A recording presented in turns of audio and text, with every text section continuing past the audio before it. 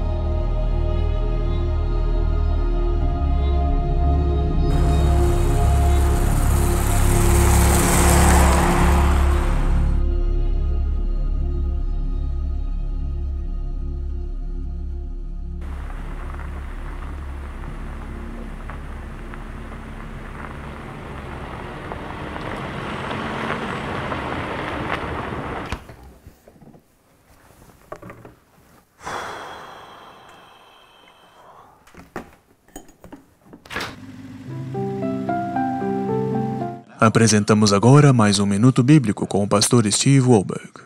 Olá, amigos! Ao olharmos para o caos e confusão nos dias de hoje, não devemos esquecer que Jesus em breve voltará. Mas como ele voltará? O último livro da Bíblia, o livro de Apocalipse, no capítulo 1, verso 7, diz o seguinte: Eis que vem com as nuvens, e todo olho o verá. Em Mateus 24, verso 30, o próprio Jesus predisse: então aparecerá no céu o sinal do Filho do Homem, e todas as tribos da terra se lamentarão, e verão o Filho do Homem vindo sobre as nuvens do céu com poder e grande glória. Sim, Jesus voltará com nuvens, e acompanhado de milhões de anjos. Então não sejam enganados por falsos cristos andando pela terra e alegando ser Jesus. Fiquemos com a Bíblia para que possamos estar prontos para aquele grande dia. Esperamos que você tenha aproveitado este minuto bíblico com o pastor Steve Wolberg.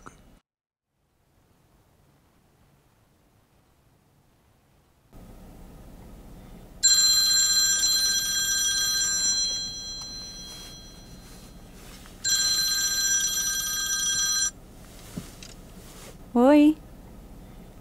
Sim, eu estou aqui. E você se lembrou do suco de laranja? Sim, eu comprei o suco. Te vejo já já. Tchau.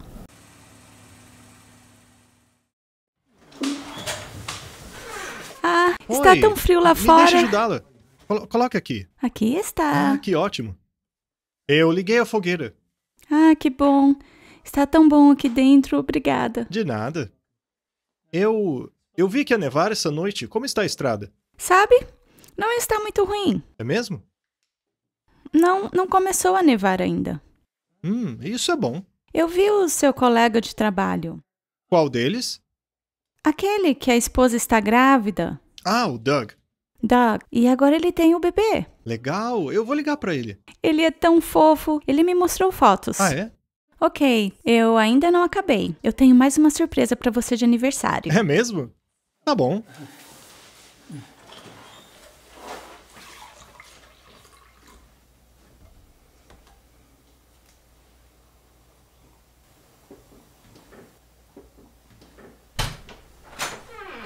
Puxa, deixa eu te ajudar.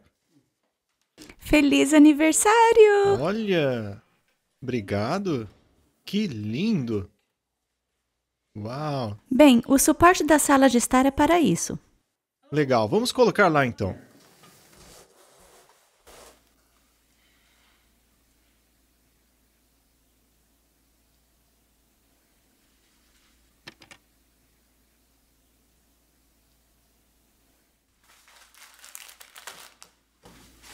Querida, o quadro ficou ótimo aqui na lareira. Que bom, estou feliz que gostou. Sabe, eu ainda estou fazendo quebra-cabeça. O quê? Sem eu? Ah, é. Mas ainda tem um monte pra fazer. Na verdade, eu completei só o contorno. Ok, bom. Eu quero que a gente faça isso juntos.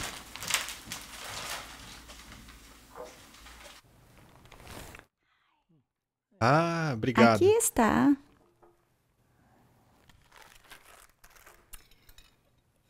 Eu quero muito conversar com você sobre algo. Pode ser depois do jornal? Ok, mas não me deixe esquecer. Claro. E parece que Washington está chegando a algum tipo de acordo. Diretamente do Capitólio, temos Andy Vasquez com mais informações. Andy? E é exatamente isso, Bill. A Casa Branca forneceu as condições sob as quais o presidente irá sancionar a lei. Essas provisões estão, nas palavras do presidente, gravadas em pedra. Parece que toda a Câmara dos Deputados pensa que essa seja uma boa ideia. É praticamente certo que a Casa Branca irá sancionar esse projeto em lei. Obrigado, Andy Vasquez. Hoje, as consequências de uma onda massiva que atingiu o sudeste da Índia indicam que mais de 200 mil pessoas morreram por afogamento. Brianna Taylor está no local com mais informações. É isso mesmo, Bill. A Organização Mundial de Saúde já está com seu pessoal em campo.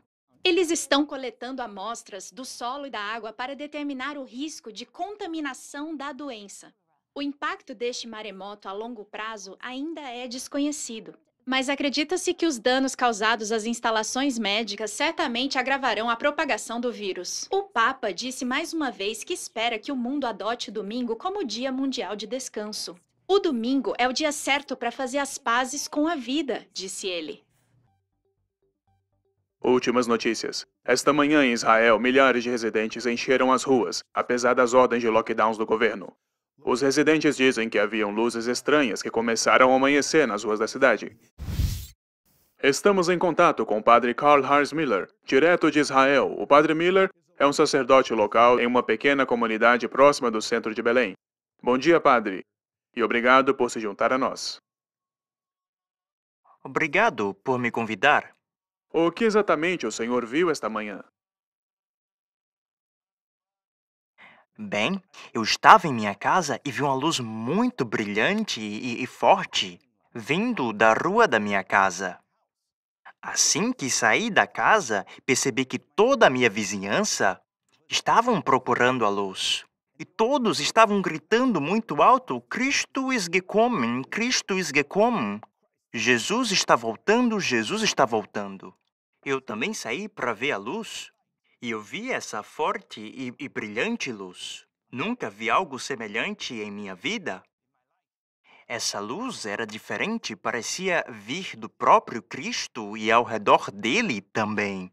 E a luz muito brilhante, forte e muito bonita me atraiu. E ele disse algo muito importante. Ele falou: agora é algo importante. Ele disse: todos os problemas do mundo serão resolvidos se fizermos uma coisa: obedecermos o domingo e guardarmos o domingo. E todos os problemas, os problemas ambientais, políticos, todos desaparecerão. Padre, me desculpe, só um momento. Acabamos de conseguir as imagens. Vamos dar uma olhada.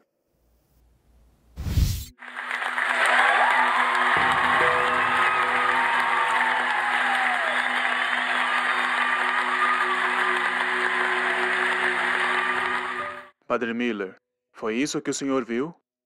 Sim, isso é exatamente o que eu vi. Foi exatamente isso. Então ele disse: Bem-aventurados são aqueles que choram, pois serão confortados. Foi lindo. A luz ao redor dele, as palavras, foi lindo. Trouxe paz à minha alma.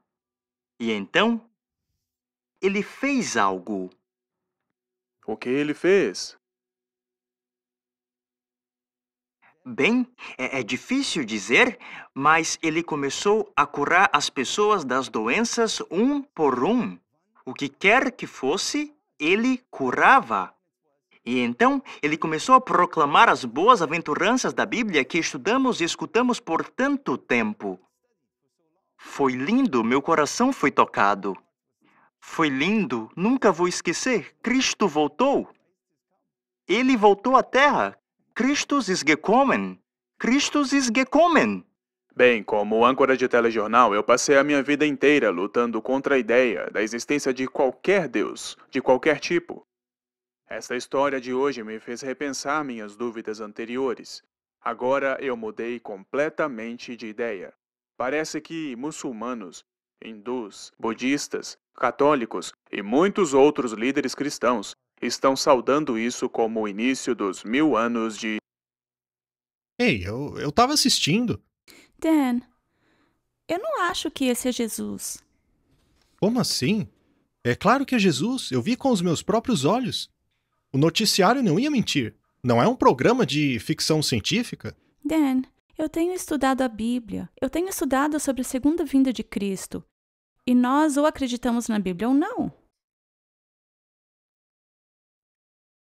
A Bíblia guarda respostas para os eventos finais. Você sabe quantas pessoas deram a vida para termos esse livro? Isso te diz o quão importante ele é. Ah. Você tá virando algum tipo de reformadora? A reforma protestante acabou. Não foi o que o pastor disse? Bem, se as pessoas estão tentando ensinar os ensinamentos da Bíblia, então sim. E você sabe que o lema dos reformadores era a Bíblia e somente a Bíblia. Sola Escritura. Talvez esse deveria ser o nosso lema. Quer saber o quê? O quê? Deixa eu te mostrar o que eu tenho aprendido. Sobre o arrebatamento? Já sei tudo sobre isso. Não. Nós não temos aprendido isso na igreja. Você sabe que nós vamos para a igreja, escutamos tudo o que o pastor diz e nunca estudamos por nós mesmos. Bem, eu tenho estudado por mim mesma. E quando Jesus vier, o mundo inteiro vai vê-lo. Ah, querida, é Jesus. Acabei de ver ele. Dan, não desse jeito. Todo mundo verá ele no céu. Ah, eu não preciso da Bíblia. Já aprendemos tudo na igreja. Você vai ver.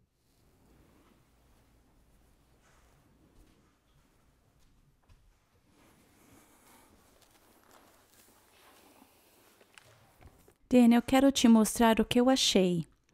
Eu vou começar no livro de Atos, capítulo 1. Espera, vamos orar antes. Querido Pai do céu, por favor, nos mostre a tua verdade e nos ajude a não sermos enganados. Em nome de Jesus, amém. Dan, no capítulo 1, verso 9, diz: e quando dizia isto, vendo eles, foi elevado às alturas, e uma nuvem o recebeu, ocultando-os a seus olhos. Esse é Jesus falando aos seus discípulos, e ele é levado aos céus. E estando com os olhos fitos no céu, enquanto ele subia, eis que junto deles se puseram dois homens vestidos de branco, os quais lhe disseram: Homens galileus, por que estáis olhando para o céu? Esse Jesus, que dentre vós foi recebido em cima no céu, há de vir, assim como para o céu o vistes ir. Hum. Ok. Mas e daí? Dan, isso está nos dizendo que Jesus vai voltar da mesma maneira que ele subiu. Ah, eu. Eu não entendi. Como assim? Dan, Jesus está lá com seus discípulos e eles veem ele subir para as nuvens, para os céus. E o anjo diz: Ele irá retornar da mesma maneira. É. Tá bom. Eu só não estou entendendo. Ok, Dan. Isso está dizendo que quando Jesus retornar, ele virá nas nuvens. Ele não vai ficar andando na terra. Tá. Mas esse homem que apareceu fazendo milagre, de, de verdade, ele curou as pessoas. O, o padre também viu isso. Eu vi na TV. Tem que ser Jesus. Eu ainda não acabei de te mostrar o que eu achei. Olha, ahn, pode mostrar, mas eu sou inteligente como você. E você não me convenceu. Dan, é claro que você é tão esperto que nem eu. Isso não tem nada a ver com intelecto. Isso tem a ver com a verdade de não ser enganado. Mateus 24, verso 23 diz: Então, se alguém vos disser, eis que o Cristo está aqui ou ali, não lhe deis crédito. Dan, isso inclui repórteres. Então, você está insinuando que a televisão mostra fake news? Dan, desde quando você acredita em tudo que você vê na TV? Não. Mas ah, eu eu vi com os meus olhos. Tem que ser Jesus. Dan, talvez dessa vez você não deveria confiar nos teus olhos. Você tem que confiar na palavra de Deus, para que nós não venhamos ser enganados. Tá bom, continua. Ok. E no verso 24 diz: Porque surgirão falsos cristos e falsos profetas, e farão tão grandes sinais e prodígios, que, se possível fora, enganariam até os escolhidos. Hum. Ah, ah, lê de novo o verso. Claro. Porque surgirão falsos cristos e falsos profetas, e farão tão grandes sinais e prodígios que, se possível fora, enganariam até os escolhidos. Tem, tem certeza, querida? Me dê a sua Bíblia, me, me deixe ler. Ah, verso 24. Ahn, porque aparecerão falsos cristos, falsos profetas, e realizarão grandes sinais e maravilhas para, se possível, enganar até os eleitos. Enganar até os eleitos. Uau! Eu nunca vi isso na igreja. Eles nunca ensinaram isso. Eu sei exatamente, e é por isso que nós temos que estudar por nós mesmos. Veja o que o verso 25 diz: Eis que eu vou-lo tenho dito. Dan, essas são as palavras de Jesus. Ele nos disse isso há muito tempo atrás para nos avisar do que irá acontecer agora. Você não acha que é isso que nós estamos vendo agora diante dos nossos próprios olhos? É, é verdade. Tá, e, e o que mais Jesus diz, hein? E aqui diz: Portanto, se vos disserem, eis que ele está no deserto, não saiais. Eis que ele está no interior da casa, não acrediteis. Porque assim como o relâmpago sai do oriente e se mostra até o ocidente, assim será também a vinda do filho do homem. Dan, quando Jesus vier, nós vamos o ver nas nuvens como um relâmpago. Não precisamos acreditar em pessoas dizendo: eis que ele está aqui ou ele está ali. Porque, Dan, quando Jesus realmente vier, não precisamos da TV para nos contar. Tá, mas. Quem. Eu vi. Mas, mas eu vi aquele homem brilhante na TV. Quem? O, o que é ele? Essa é uma pergunta muito boa. Sabe o que? Eu acabei de me lembrar de um verso que eu achei em 2 Tessalonicenses, capítulo 2, começando no verso 9, que diz: A esse cuja vinda é segundo a eficácia de Satanás, com todo o poder e sinais e prodígios de mentira, e com todo o engano da injustiça para os que perecem, porque não receberam o amor da verdade para se salvarem. E por isso Deus lhe enviará a operação do erro, para que creiam a mentira, para que sejam julgados todos os que não creram na verdade. antes tiveram prazer na iniquidade. E, então você acha que aquele aquele homem é Satanás? Dan, isso é o que dá a entender que Satanás, com todo o seu poder enganador e sinais e maravilhas mentirosas, está vindo enganar as pessoas. Mas, se nós confiarmos na palavra, nós não seremos enganados. Sabe, Jen, eu tenho sido tão abençoada. Eu tenho lido este livro chamado Grande Conflito entre Cristo e Satanás. E esse livro foi escrito há muito tempo atrás, mas ele te aponta para a Bíblia e versos bíblicos, e é aqui que eu tenho aprendido sobre a segunda vinda. E Dan, as coisas que esse livro fala já aconteceram. E até agora, com o que a gente leu, e o que eu ouvi, e o que você estava assistindo. Escute o que eu li no livro outro dia na página 624. Ouça só isso. Como ato culminante no grande drama do engano, o próprio Satanás personificará Cristo.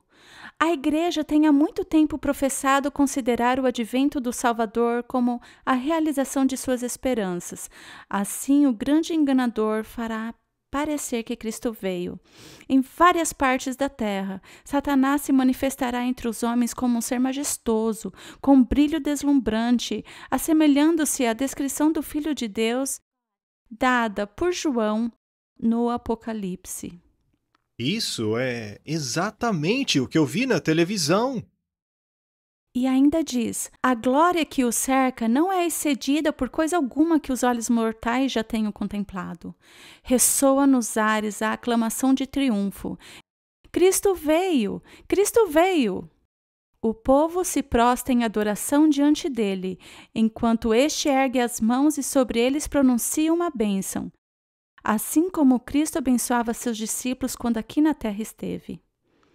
E mais para baixo diz: é este o poderoso engano, quase invencível. Uau! Inacreditável.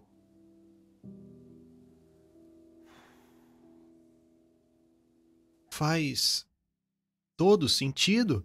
Sabe, o quebra-cabeça que estamos montando, ele ele Mostra exatamente isso aí que você falou. Eu preciso dar uma olhada.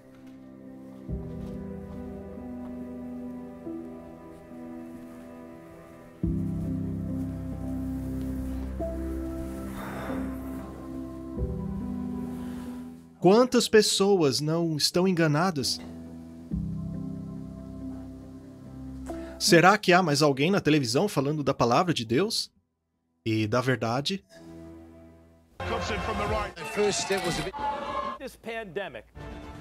Vocês ouviram as notícias, amigos? Alguém que afirma ser Jesus está andando por Belém. O rosto dele brilha, ele cita a Bíblia e está curando os enfermos e até dizendo a todos que sigam o Papa, que diz que se todos nós guardarmos o domingo como dia universal de descanso, todos os problemas do mundo irão embora. Está na hora de eu falar diretamente com vocês, amigos, sobre o que a Bíblia realmente diz. Em Mateus 24, versículo 27, em Atos 1, versículos 9 a 11, em Apocalipse 1, versículo 7 e em incontáveis outros versículos da Bíblia, nós podemos ler que o verdadeiro Jesus voltará nas nuvens. Ele não vai ficar andando por aí na terra. Então, quem é esse ser reluzente, que está circulando por Israel. Ouçam com atenção, amigos. Em 2 Coríntios 11, versículo 14, a Bíblia diz, e não é maravilha, porque o próprio Satanás se transfigura em anjo de luz. Sim, Satanás pode se transformar para se parecer com outra pessoa, até mesmo Jesus. Então não seja enganado. A Bíblia é muito clara em dizer que o verdadeiro Jesus logo aparecerá acima das nossas cabeças, no céu, e todo o olho o verá. Então não seja enganado por Satanás e por suas mentiras. eu apelo a você para que creia no verdadeiro Jesus e na verdade da palavra de Deus. Acredite você ou não, o engano foi inventado lá no céu. Um anjo nobre e poderoso chamado Lúcifer decidiu que ele não mais adoraria o seu Criador e sim a si mesmo. De alguma maneira, ele convenceu um terço dos anjos de Deus a se juntarem à sua causa rebelde. Em Apocalipse capítulo 12, versos 7 a 9, a Bíblia diz: E houve batalha no céu. E Satanás e seus anjos foram lançados a essa terra. Desde os dias de Adão e Eva até os dias de hoje, o diabo tem continuado com a sua obra de enganar. Apocalipse capítulo 12, verso 9 também acrescenta: Satanás que engana todo o mundo. Esse é o plano máximo dele, a sua jogada final. E bem pouco antes de Jesus retornar a essa terra nas nuvens com bilhões de seus anjos fiéis, o ato culminante de seu engano satânico ocorrerá quando o próprio diabo se passar por Jesus Cristo. Jesus nos advertiu de tudo isso em Mateus 24, verso 23, quando ele disse: Então, se alguém vos disser, Eis aqui o Cristo, ou ei-lo ali, não acrediteis. Tragicamente, a maior parte do mundo irá acreditar e eles adorarão esse impostor, porque eles não olharam com atenção o que a Bíblia Sagrada realmente diz sobre o Jesus verdadeiro e sua segunda vinda. Então, quando Satanás vier, parecendo como Jesus, e especialmente quando ele realizar grandes sinais, maravilhas e milagres, milhões dirão: É ele, é Jesus. Ele veio para a terra para nos ajudar a resolver os nossos problemas. E essa é a sua advertência prévia. À medida que a história humana rapidamente se aproxima de seu clímax apocalíptico, eu faço um apelo do meu coração para o seu. Estude a Bíblia Sagrada por si mesmo. Acredite no Jesus verdadeiro que desceu dos céus há dois mil anos atrás para revelar o grande amor de Deus por nós e pagar o maior preço de todos, morrer pelos nossos pecados naquela cruz terrível. Então ele ressuscitou dos mortos, subiu aos céus e em breve retornará em grande glória. E nós não precisaremos de uma televisão para ver isso. Ninguém vai perder isso. Ele virá para destruir o enganador e resgatar a todos que realmente creem nele. Obrigado por assistirem o ato culminante. Estejamos prontos para aquele grande dia. Ei, finalmente na última peça do quebra-cabeça. Bem, quando se tem todas as peças, a imagem faz muito mais sentido. E sabe o quê? É verdade, em vários sentidos.